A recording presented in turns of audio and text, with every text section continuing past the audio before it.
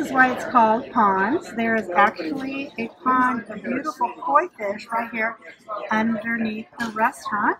And you can actually get a seat next to this for a beautiful view.